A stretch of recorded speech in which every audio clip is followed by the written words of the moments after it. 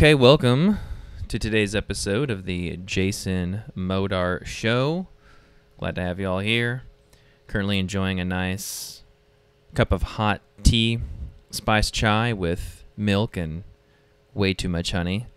Because milk and way too much honey is the only way to enjoy a cup of tea.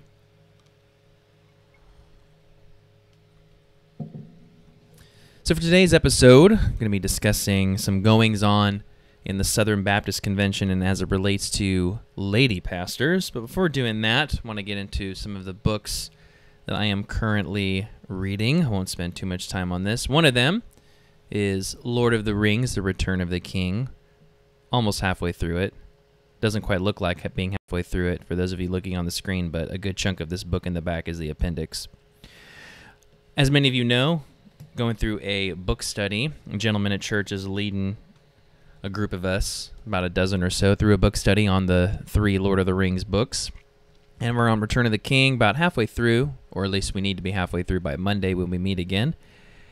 I just finished a chapter on the Houses of Healing, and it's a chapter where Aragorn heals and saves Merry, Eowyn, and Faramir from certain death Faramir from being pierced by a dart from the enemy, and then Eowyn and Merry nearly dying because of them attacking and killing the Witch King Angmar during the Battle of Pelennor Fields. And then also in that chapter, Aragorn goes throughout the rest of the city of Gondor, healing people who have been hurt during the siege of Gondor and the aforementioned Battle of Pelennor Fields. So when I finish reading Return of the King, it'll be my third time through the trilogy, and I highly recommend reading it if you haven't yet. Although be warned, if you read the trilogy and all you know of it is the movies, it's going to ruin the movies for you. The movies just pale in comparison to the book. You're going to read the books, realize how superior they are to the movie, and be irritated at Peter Jackson for his interpretation of the trilogy and Tolkien's writing.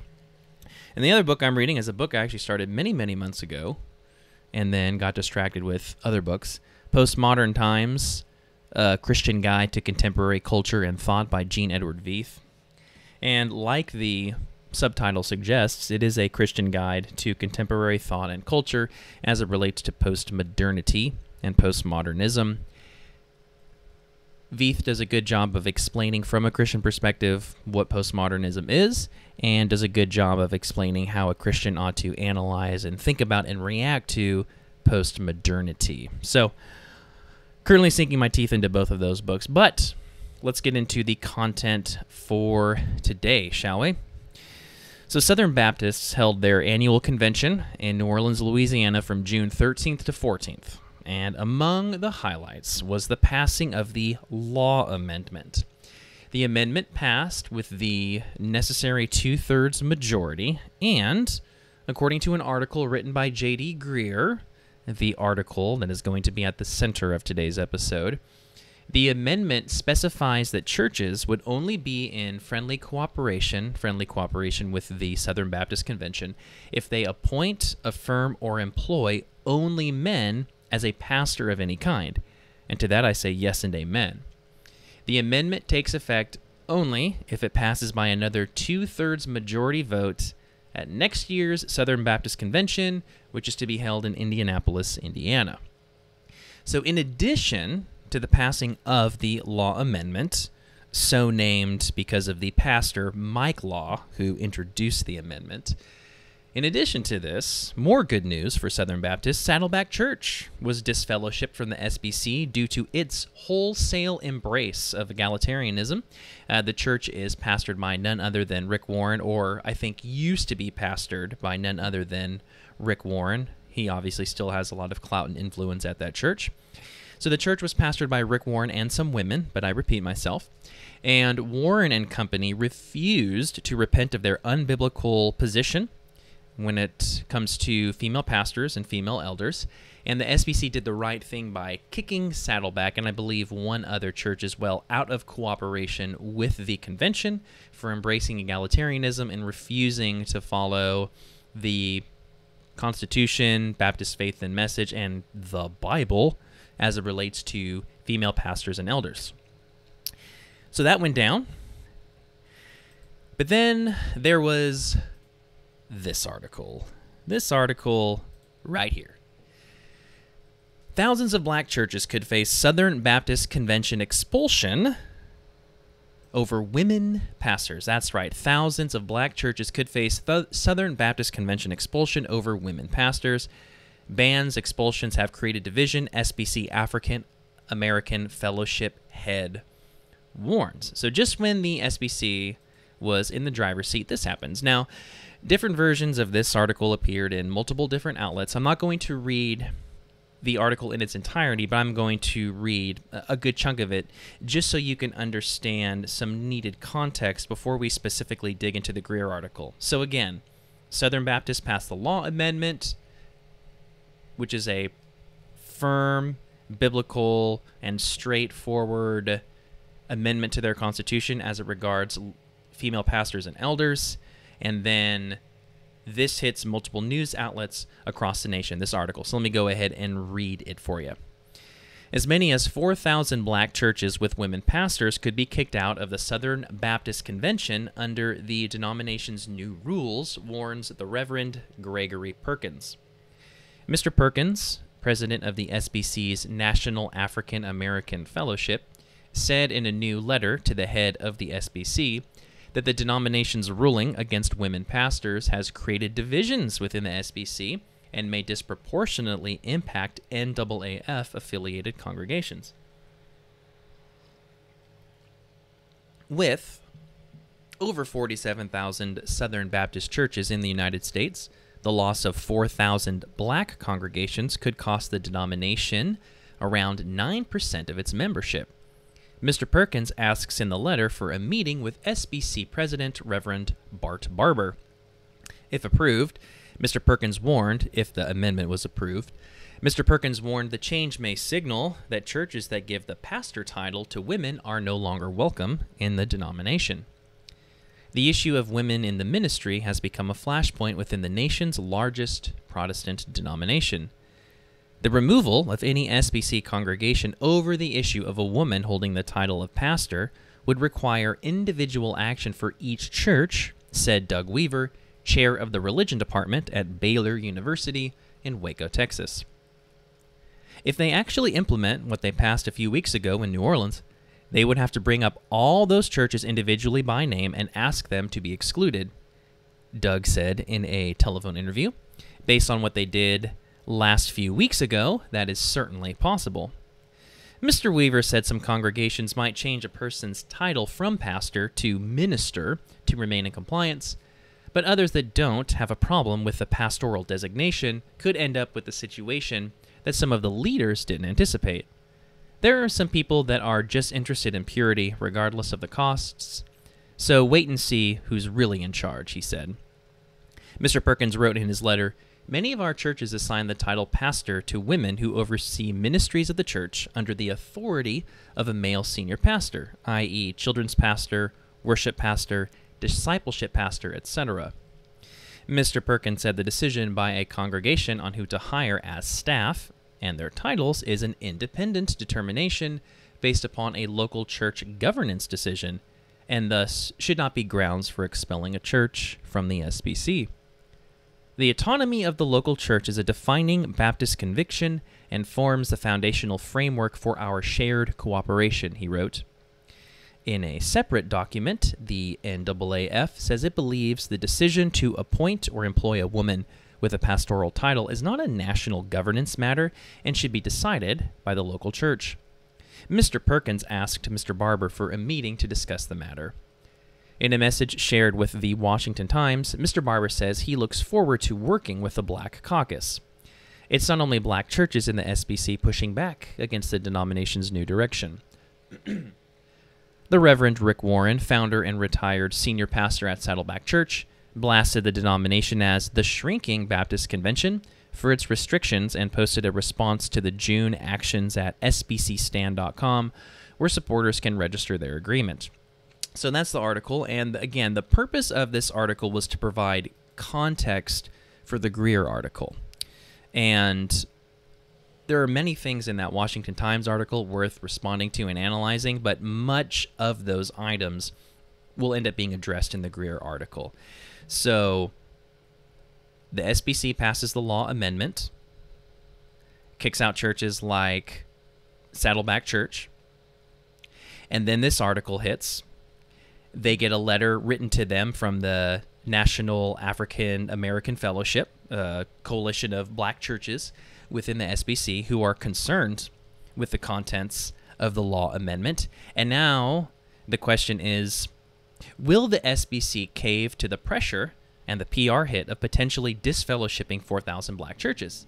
Because there is nothing that terrifies soft evangelical Christians more than being called a racist. So, what's the response going to be? What is the SBC going to do? How long will it take until somebody, some sort of elite within the SBC, responds in some sort of placating manner, admonishing, exhorting, pleading with the SBC to slow down on the law amendment and consider the ramifications of it? Well, to answer that question, enter J.D. Greear. So, J.D. Greear ended up penning a, an article on his blog titled A Time to Come Together The Unintended Effects of the Law Amendment, as for those of you who are watching this on YouTube, see on your screen right now.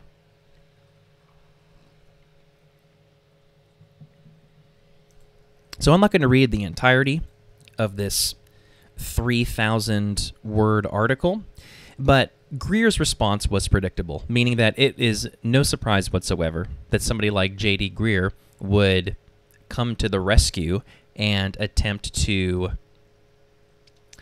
give some sort of a winsome and nuanced rebuke of the law amendment. It was only a matter of time before a big name squish like J.D. Greear did something like that.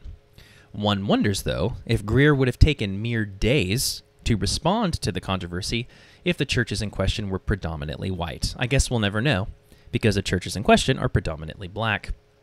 So I'm going to dive into certain sections of this article rather than going through the article in its entirety. Again, it's a very lengthy post that Mr. Greear wrote, over 3,000 words, and I don't need to read all of it for y'all to get a sense of Greear's line of argumentation. So let's go ahead and begin going through this article. So I, I want to begin by giving an attaboy to J.D. Greear because he's not going to get many from me during this episode. But one thing I do want to say is that I want to compliment him because not everything in this article is one giant capitulation to blacks and to women. So at the beginning, as I have highlighted here, so for those of you following along, I'll attempt to highlight each section as I'm reading through it but I'll also read it out loud as well. so, towards the beginning of the article, Greear writes Many Southern Baptists voted for the law amendment because they rightfully believe the office of pastor is limited to men and wanted an opportunity to affirm that, especially after hearing disheartening examples of a few prominent evangelical voices who regard complementarianism to be backward, archaic, and misogynistic. So, right off the bat, good on Greear for saying that believing the office of pastor to be limited to men is a right belief because it is. 1 Timothy 2 and 3 and Titus 1 make it clear that the office of pastor and I'm going to use pastor and elder synonymously because a pastor is an elder, or that's how a pastor should be viewed. So this would be the office of pastor slash elder. They're limited to men. There's a specific set of requirements for the office of elder, and one of those requirements is to be a male. Then there's also passages like 1 Timothy 2, where it's clear that women are not given the authority to teach men or to exercise authority over men, which would mean that as we, the church, the bride of Christ, a female entity, submit to our husband, Jesus, a male, that part of our submission to our head, Jesus, involves our local congregations submitting to what the scriptures have to say about who is in leadership in our churches, and that's men. So good on Greear for affirming that. And then as for evangelicals who regard complementarianism to be backward, archaic, and misogynistic, they need to be rebuked and exposed as the lovers of the world that they are. So the SBC did this at the Southern Baptist Convention, for instance, with Rick Warren. Instead of holding to scriptural fidelity, churches like Saddleback have just gone with the winds of culture. However, the winds of culture shift, they shift right along with them. However, the waves of culture move, they're going to move right along with those waves. They're like what James articulates in James chapter 1. They are a double minded man who is easily swayed and tossed about like the waves of the sea. I will say this, though complementarianism, I'm not a a fan nor a proponent of complementarianism, but of patriarchy. Complementarianism is a weak substitute for a fuller biblical theology of gender roles, that being patriarchy. Patriarchy simply meaning father rule. Fathers rule in the home, fathers rule in the church, and fathers ought to rule in the civil sphere as well. Civilization is built by men with families to feed. And the biblical model is men in leadership. And everybody likes to rush and point to people in the scriptures like Deborah. Oh, well, what about Deborah? Well, Deborah is emblematic of a lack of quality male leadership in Israel during that time. Deborah was chosen to be a judge and to be the ruler of Israel and to be the rescuer at that time of Israel because men like her general, Barak, refused to even go into battle unless a woman went with him. So there was clearly a problem with male leadership in Israel at that time, and Deborah was righteous and did her job, but God also used her to shame the men of Israel. And I'll say this before moving on. Greear calls these evangelicals who regard complementarianism as backward, archaic, and misogynistic, and they would certainly feel that way about patriarchy. He calls them disheartening examples. That's weak. They are way more than disheartening examples. They are wolves. They are deniers of the truth. Many of them are lovers of evil and lovers of this world and refuse to do what the scriptures have to say when the culture is saying the opposite. All right, so let's move on in the article. So here is all right, next paragraph here. So while supportive of the desire to affirm complementarianism, I want to suggest that this amendment is not the way to do that and that it will have deleterious effects far beyond what most Southern Baptists intend, as evidenced by this open letter by our National African American Fellowship, who are pleading with us to slow down and consider the implications of what we're doing. So I read that letter. I read the letter from the NAAF. Allow me to go ahead and summarize it, and I will put a link in the description box to it and to the Greear article and to the Washington Times article so you can read all of this for yourself and vet me and make sure that I'm summarizing this correctly. So allow me to summarize the letter from the NAAF to the SBC. We, the black SBC churches, are worried that the law amendment signals to us that since we allow women to serve as pastors, or we call them pastors, we aren't welcome in the SBC. You should respect our local church autonomy and keep unity with regards to secondary issues like us calling women pastors. This amendment may disproportionately affect the 4,000 black churches in the SBC. We also have faith in Jesus, affirm scriptural authority, and champion the Great Commission. Let us pray and dialogue about the law amendment. That's really a good approximation of what that letter included. Again, you can read it for yourself. It's about a page, page and a half long. Well, I have a few things to say about that. Number one, if your female employees are not functioning as pastors, that's great. They should not be functioning as pastors. They should not be fulfilling the duty, the role, the obligations of pastors or elders because they're not elders. That's great. However, stop calling them pastors. It's unbiblical and it's confusing. That's what's going on with some of these churches. J.D. Greear in this article talks about a nomenclature problem. This is just a nomenclature problem. You just have churches that are complementarian in their theology, but they're just they're calling their women pastors, but they're not actually functioning as pastors. Then don't call them pastors. And don't call them elders because they're not. It's unbiblical for you to call a woman a pastor or an elder because that's not a role that they ought to hold. It's similar to the homosexual issue homosexual marriage. I like what Doug Wilson and others have to say about this. It's a mirage. The state can go ahead and attempt to redefine marriage, but there is no biblical category for a homosexual marriage. There is no biblical category for a homosexual union and covenant before God and man. It doesn't exist. So their marriages are mirages. They're not actually really married. Likewise, there's no biblical office of elder or pastor for a woman. So women who call themselves elders and pastors, they're not really elders or pastors. They're just in rebellion against God and they're attempting to fill a role that doesn't actually exist for them to fill. It's a role that only is for men to fill. It's also confusing. It's confusing to members of the church's congregation. It's confusing to other Christians who know of the church. It could be confusing to outsiders about what actually constitutes a pastor. So if she is not fulfilling pastoral duties, that's great, but also don't call her a pastor or an elder because she is not. And calling her a minister instead, we know what that means. It's the same idea.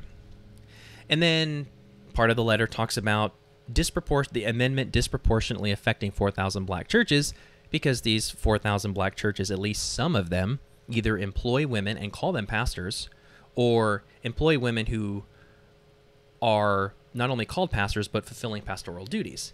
Well, to that I say, who cares?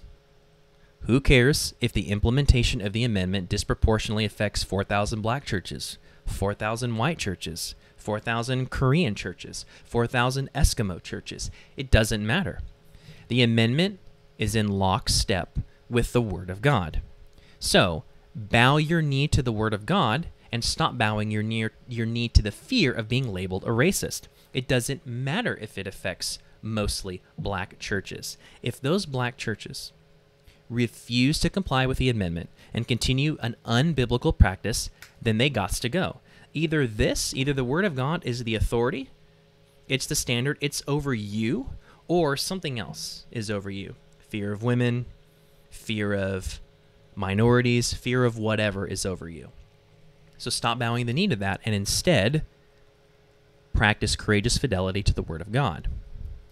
And then they also mentioned that they believe in the authority of Scripture. Well, if they did believe in the authority of Scripture, like they mentioned in this letter, then the NAAF churches would not have women pastors, nor would they call their female staff pastors.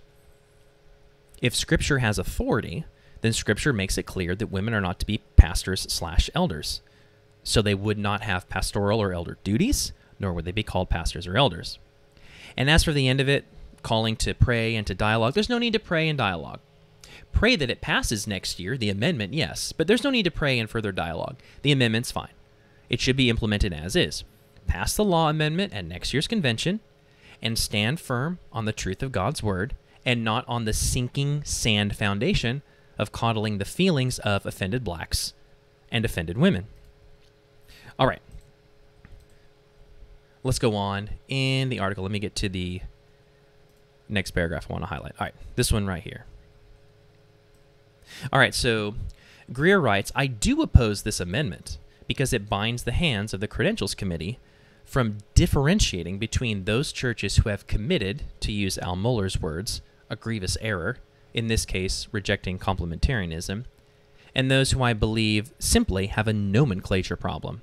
Since the conservative resurgence, we have sought to be united on primary things, e.g., salvation by faith alone, the bodily resurrection of Jesus, the inerrancy of the Bible, etc., and secondary things also, e.g., complementarianism, believers' baptism, regenerate church membership, etc. This amendment, however, makes conformity on a tertiary thing, right nomenclature of an office, a standard for fellowship. It's not tertiary, though.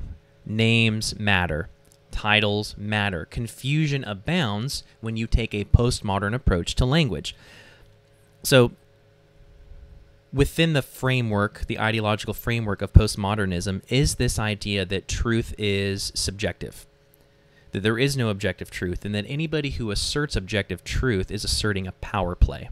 It is an oppressor attempting to assert domination and power over an oppressed person if they attempt to take some sort of objective stand. And the same thing applies to language in the postmodern mind. Words and titles, and we, we and I and I mean we, and I mean me when I say we, we are so infected by postmodernism and postmodern thinking we don't even realize it. On the daily, I am having to rid myself of postmodern notions, which is why you should read books like this one so you can understand postmodernism and just how much it permeates and pervades our culture. The whole idea of you do you, that's fine if you want to do that, it's not for me, but it's for you, that's completely rooted in postmodernism. So I don't know if Greear realizes just how saturated his thought process is in postmodernism. Words and titles just don't get to mean whatever one wants them to mean. And that has to be true of what the Bible says, where the Bible is just this subjective thing that can mean whatever we want it to mean to whatever, to whoever, and to whatever circumstance that we want to. It's not tertiary. This is a secondary issue that should be treated as such by the SBC, and this should not be allowed. You should not allow churches to call women pastors or elders, nor should you allow them to function as pastors or elders, whether or not they're called as such.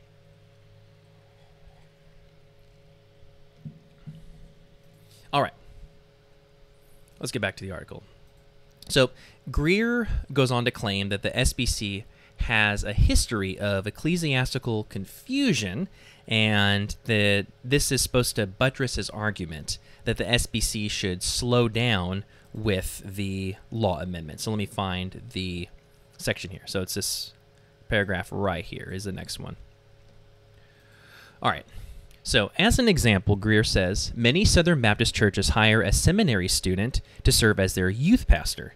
These candidates are often unordained and remain so for several years.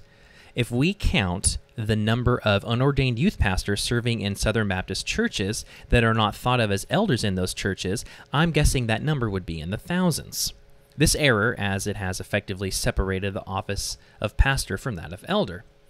But is it a disfellowshipable one?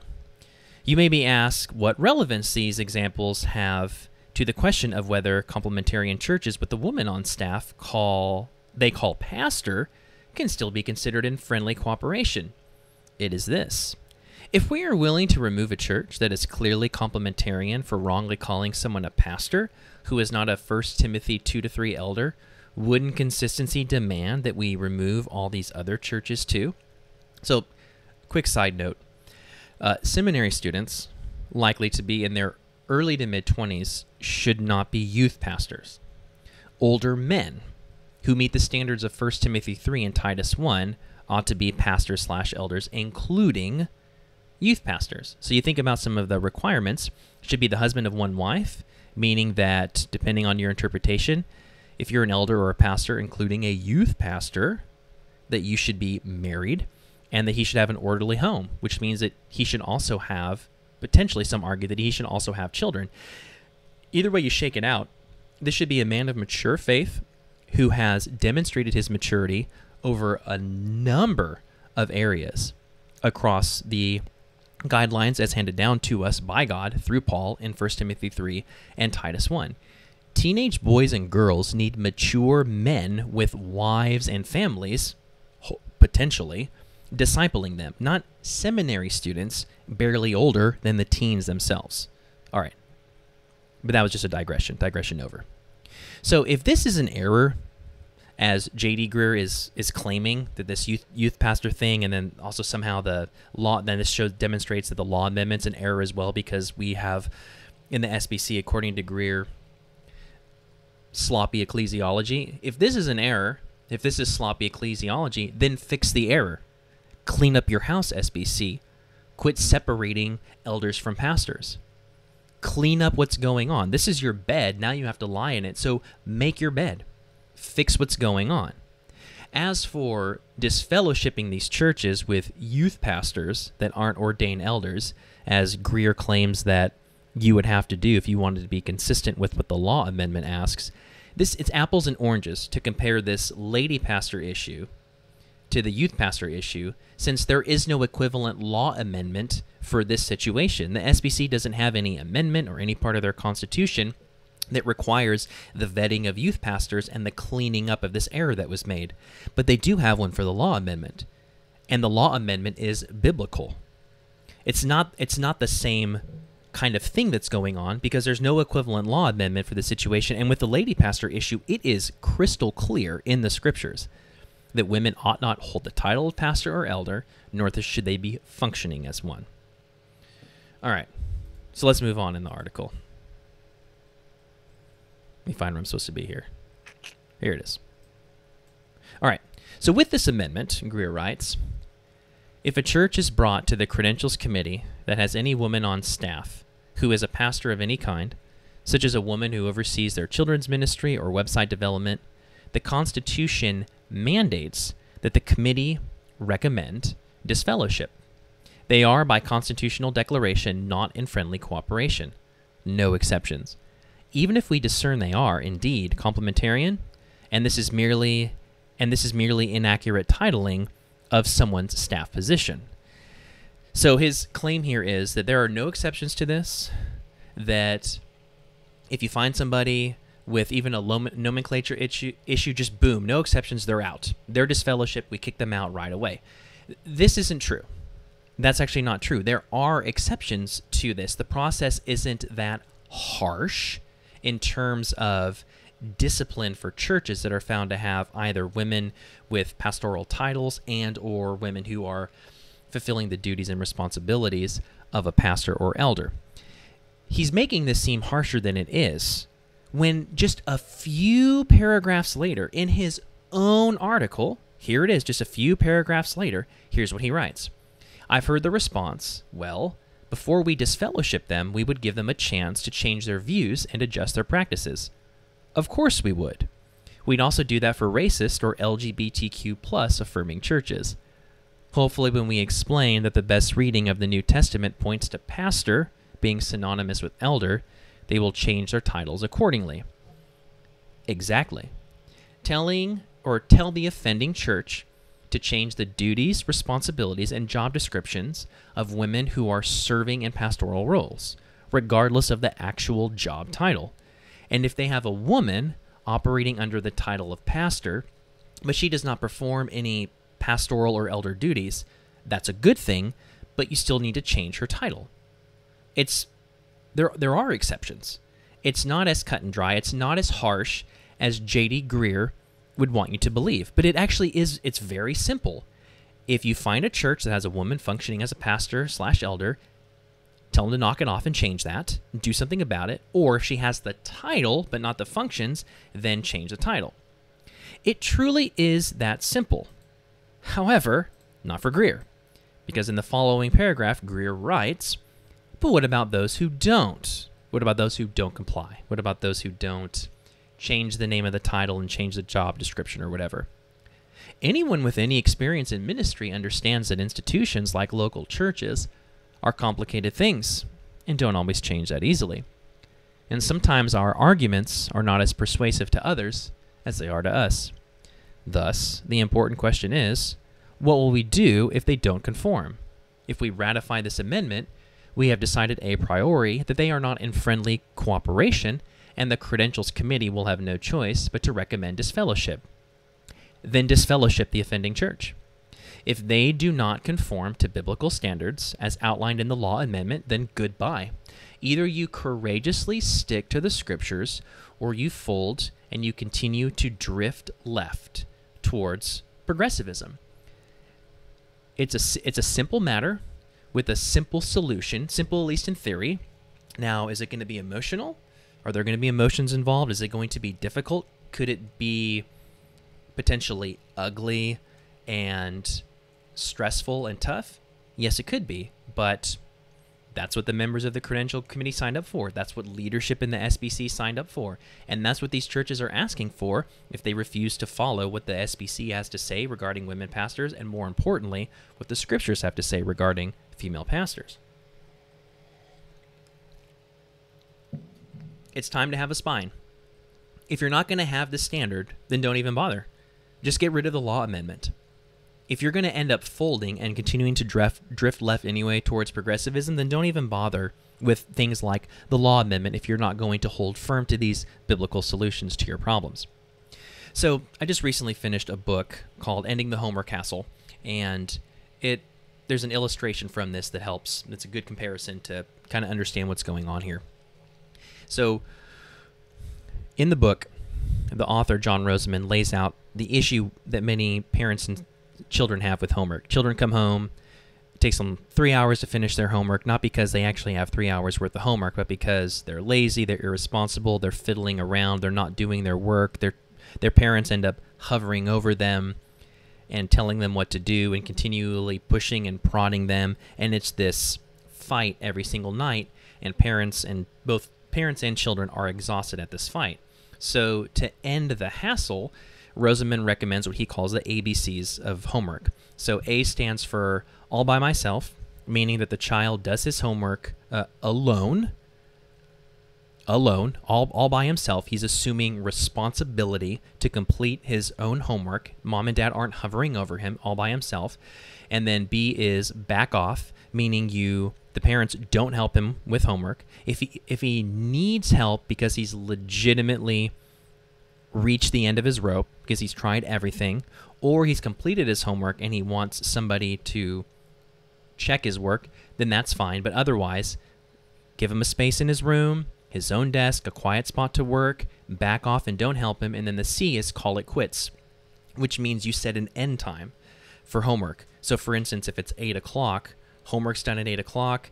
It doesn't matter if you're not finished at 8 o'clock, you're done. That way, your children are not only getting enough sleep, but they're also learning the valuable skill of time management. And no matter how much they whine or complain or threaten, oh, I'm going to fail my class. You're going to make me fail my class. I'm going to have to repeat the grade. All my friends are going to make fun of me. My teacher's going to fail me. I'm going to run away from home. It doesn't matter. Parents stick to their guns because this is what's best for children. They need to be responsible for getting their homework done. Similarly, stick to the scriptures, SBC. When it comes to women pastors and the law amendment, do not bend. No matter how much whining and complaining you get from white liberals, some blacks, and some women, no matter how much these groups throw fits about this, even if they're nuanced and winsome fits, stick to the scriptures. Just like parents need to stick to the homework ABCs so that the homework hassle ends and students take responsibility for getting their schoolwork done and for their academic success. Likewise, the SBC needs to stick to the scriptures no matter how much whining and pushback they get from people who want to do the unbiblical thing. All right, let's continue on in the article. All right, so Greear, hold on a second. Greear goes on to write Put another way, the problem with this amendment is not that it gives churches no space to change their nomenclature. The problem is what it mandates that we do if they don't. Complementarian churches with inaccurate titling for some of their women in ministry are put into the same category as those harboring known sex abusers or marrying gay couples. So, if by the same category, Greear means the category of going against the holy word of God, then yes, they are in the same category. You can't be afraid to say that harboring a known sex abuser, marrying a gay couple, and ordaining women as pastors and elders or hiring them as pastors and elders is unbiblical. This whole argument about, oh, it's a nomenclature thing, y- yes, th- they are in the same category. Perhaps we would rightfully say in certain circumstances that a sex abuser or marrying a gay couple is more egregious, perhaps, than having a, a lady pastor in your church although I'm sure some people would be more than willing to argue they're at least as bad for various reasons. But nonetheless, if they're against the word of God, if they're violations of God's word and the authority of his standard, then yes, they are in the same category. Don't fall for this. This is a scare tactic. Don't fall for the scare tactic. Or maybe it would be more accurate to call it a shame tactic. Either way, don't fall for it. JD Greear is just trying to scare you into thinking that you're going to lump sex abusers in with lady pastors. He's trying to shame you into lumping sex abusers with lady pastors. Don't fall for it. It's a weak, snivelingly spineless move, and don't fall for it. Greear then goes on to say that doesn't feel right. This whole idea of lumping sex abusers, lady pastors, and those who marry gay couples together, that doesn't feel right. It doesn't feel right because this level of enforced stricture has never been true of our rules of cooperation. Well, forgive me for channel- channeling my inner Ben Shapiro, but biblical truth doesn't care about your feelings, JD. It doesn't matter if you have an icky feeling down in your tummy about this. The problem is not with biblical applications like the law amendment. The problem is with your feelings, JD Greear. They don't line up with God's feelings. Your feelings are irrelevant. Let me explain it to you like this. I was thinking about this earlier. When I first really started studying the Canaanite genocide, or it's actually what's called the so-called Canaanite genocide, the conquest of Canaan. Didn't like it. Didn't feel good about it. Didn't feel good that God said, "Kill everyone, including the women and children," which would include nursing babes and infants. Didn't like that at all. But it didn't really matter what my feelings were. It didn't matter that I didn't like it. What matters is that a holy God is just, righteous, and good always and that he declared the time for Canaan to repent to be up, and that it was time for judgment to be executed upon the inhabitants of Canaan. And that included the death of their women and their children. And God's hand of vengeance was his people, Israel. It didn't matter that I didn't like it. It's God's perfect justice being executed on those people, and I needed to get over it. And likewise, J.D. Greear needs to get over it. And here's what J.D. Greear says next. In fact, I'd suggest that for those to whom it does feel right, perhaps they are the ones who aren't closely identified with us. So, for those of you, and I would put myself in this category as well, even though I'm not a Southern Baptist, I'm a Reformed Presbyterian, part of the CREC denomination. Nonetheless, those of us who feel it's right, who feel that the law amendment is right, who don't have any problem, who don't have an icky feeling in their stomach about lady pastors being grouped together with those who marry homosexuals and sex abusers, because all three of those things are unbiblical. Those of us to whom it does feel right, we're the we're the problem. We're the ones who aren't closely identified with the Southern Baptist Convention. They're the others. You're the others. So I don't know what to tell you, Southern Baptists. Those of you who support the law amendment as you should. Those of you who think J.D. Greear is an apologist for liberals as you should. You're the problem. J.D. Greear just said, You are the problem. You are the one who don't closely identify with us, with us SBC elites. It's you. You people who steadfastly hold to the scriptures. You people who don't sway in the wind just because a minority or a woman is offended, you're the problem. I'm not saying you should abandon your convention, Southern Baptist, but just know that's what J.D. Greear and people like him think of you. They hate you. You you disgust them. Just know that that's the case. All right, let us move on in the article. So, J.D. Greear writes next Some advocates of the amendment have gone on record indicating that they would go further than only excluding churches with a woman on staff called pastor. They believe this amendment authorizes them to suss out churches who have women operating under different titles director, minister, HR representative, but are still exercising improper improper in their view authority over men. Sorry, I couldn't read improper in their view in a real voice because it's just so pathetic. All right, back to Greear. Personally, I'm horrified at the idea of a committee making an inquiry of our church to decide if we have women acting in ways that's deem that they deem improper. No, thank you. All right. Since earlier in the article, Greear mentioned the SBC's recent moves within the last few years to police churches that they deem are racist or who harbor sex abusers. I have some questions. I have some questions in light of J.D. Greear being horrified at the idea of a committee making an inquiry into his church to decide if they have women acting in ways that they deem improper. I have some questions about that. Would JD be horrified at the idea of a committee making an inquiry of his church to decide if his church had people acting racist in ways the committee deems improper? Would that bother Greear? Would he be horrified? excuse me. Would he be horrified at the idea of a committee making an inquiry of his church to decide if his church had people improperly harboring sex abusers according to the committee's definition of improper? Would any of that bother J.D. Greear? Or was J.D. Greear completely on board with the Me Too, Me Too Church Too movement? Was J.D. Greear completely on board with the anti racist ways of sniffing out racists within the SBC? Was he totally on board with that? Had no problem with the committee doing things like that?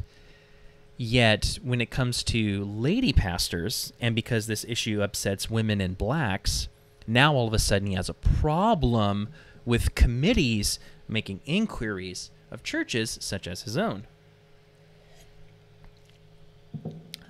So in between my final preparations for this video and filming it, I I thought of something. So this situation closely parallels this issue when it comes to looking for racists in the SBC and looking for sex abusers in the SBC. So J.D. Greear does not like the law amendment, does not like the fact that there is going to be these sorts of inquiries made. He doesn't he thinks that the amendment goes too far, that it takes away churches' autonomy, and that it's not the right way to go about things. This is exactly almost exactly the exact how many times can I say exactly?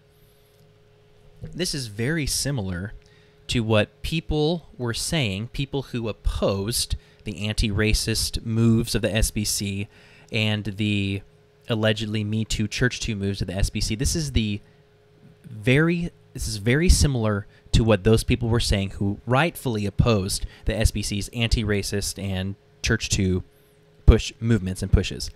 Because what those people were saying was, look, anti-racism is unbiblical. This is not a way to say, sniff out racist. Can you define racist? What would determine whether or not a church or a member was acting in a racist way or saying something that was racist? If somebody such as myself says, Who cares? that 4,000 black churches are upset that they can't have lady pastors, would that be considered racist? And same thing with the Church Too movement. So I think it was what Guidepost Solutions, whom the SBC hired to take a look and investigate cases of sexual abuse within the SBC, a company that has uh, affinities for the LGBTQ plus movement. They're pro tranny and pro homosexual. They're the ones that the SBC hired to do this, and people rightfully said, What are you doing? Slow down. This is not the right way to go about dealing with sexual abuse. A lot of, you know, Title IX style courts and Title IX style actions were set up when Title IX on college campuses, which is basically you're guilty until proven innocent and the whole believe all women motif and theme. People were saying rightfully that you need to slow down on that because these things were unbiblical the way the SBC was going about dealing with these issues of racism and sexual abuse. So eh, J.D. Greear now is saying the exact same thing, only about lady pastors. Slow down. There's going to be ramifications. The difference is, well, first of all, Greear. I hope you don't expect people to listen to you when you when you and your ilk didn't listen to them back then. But the difference is, is that the law amendment's biblical. It's thoroughly rooted in the scriptures. So the issue here is an issue with what the scriptures have to say. Now, Greear and elites like him are going to come out and say that. They're going to say things like, well, what about the blacks? Well, what about the women? Well, what about nomenclature? That's how they're going to couch it. The racists and the sexual abuse stuff, that was unbiblical and used unbiblical means to get at the problem, where you have the law amendment using biblical means to get at a problem. The elites loved the two things where biblical means were not used, and they seem to hate this where biblical means are being used. Isn't that interesting? I mean, Greear helped set up this whole kangaroo court system for sniffing out so called racists and sex abusers.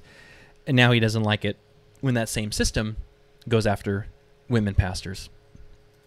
All right, let's move on in the article.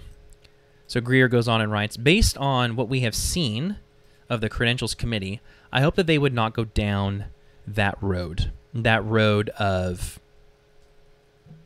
deciding, you know, the thing that horrified Greear, deciding if his church was having women act in an improper way. So, based on what we've seen in the Credentials Committee, I hope that they would not go down that road. But if the amendment passes, I don't see how they couldn't. And even if they resist, we are placing a huge burden on a committee of nine volunteers who are already overwhelmed by a backlog of submissions. They are responsible to process and respond to every one of them. If this passes, they will likely be inundated with mass submissions from those who are determined to police various churches according to their own interpretation of how that church should apply complementarianism.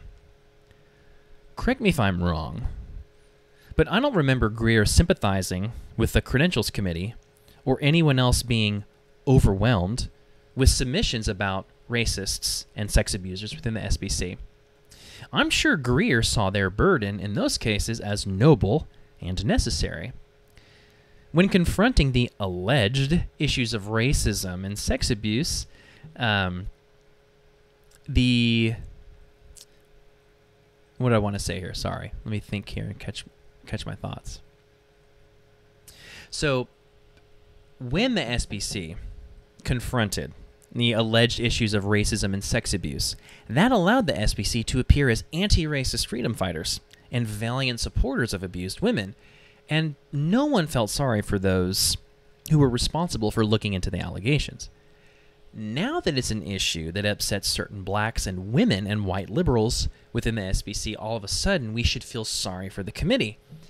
Now, that it is an issue with icky optics, now that it is an issue that J.D. Greear doesn't feel good about, J.D. Greear needs to pen a 3,000 word blog article as a, an apologetic against the law amendment. And that's all from this that I'm going to end up reading. There's a section where Greear goes on to compare himself and some former SBC presidents and other SBC elites. This laughable section at the end of his article where he compares them to the Council of Jerusalem and Acts 15, saying that him and these men are having their own Acts 15 moment. So in Acts 15, you have the apostles meeting in Jerusalem and determining, okay, are the Gentiles part of the church now? Okay, yes. What do we say to them? We have some members of the circumcision party saying they need to be circumcised. Which parts of Moses' law do they actually need to keep?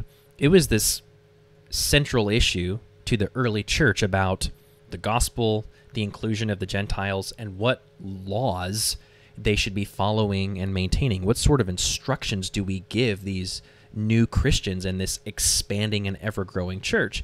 And J.D. Greear says dealing with the law amendment is their Acts 15 moment. It's a laughable, laughable comparison. Uh, here are my final thoughts. Uh, one thing that I found interesting uh, J.D. Greear links to the National African American Fellowship letter not once, not twice, but three times in this article. This shows where at least some of his fear lies. He kept saying, Look, look what the blacks are saying. Look what the blacks are saying. Look what the blacks are saying. He wants to kowtow. He wants to kowtow to the minority presence in the SBC because the optics would be bad if he didn't. Well, the optics with people who don't matter would be bad. The optics with people who do matter would be really good. They would pat JD Greear on the back for being courageous. Uh, when prepping this episode and doing some uh, research into it, I saw that Elevation Church. I didn't know that Elevation Church was a part of the SBC, but they left the SBC due to the law amendment. So this is Stephen Furtick's church, and his wife's on staff there as a pastor, and she's preached a bunch of sermons. Look, losing Elevation was a freebie. Elevation is a train wreck. Stephen Furtick's theology is wretched. His teaching is wretched. And if you want a closer look into that, I recommend the YouTube channel Fight for Truth. Uh, Colin over at Fight for Truth has done an excellent job covering the many, many heresies of Stephen Furtick and Elevation Church. So the SBC, they've been win- they've been winning lately. They've been winning in a, in a couple of ways. Getting rid of Rick Warren, passing the law amendment. Hopefully, they continue to do so.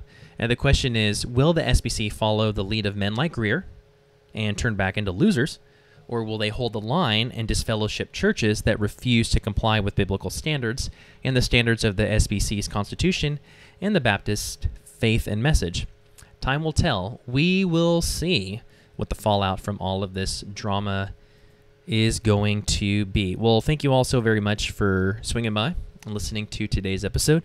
Hope you found it uh, helpful. We'll catch you next time. God bless.